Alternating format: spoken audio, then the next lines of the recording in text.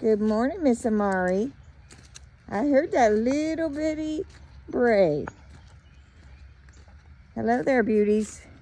We're gonna eat inside today. As your lots are a mess again. Mama's gonna try to clean today. Supposed to clean last night and then it rained again.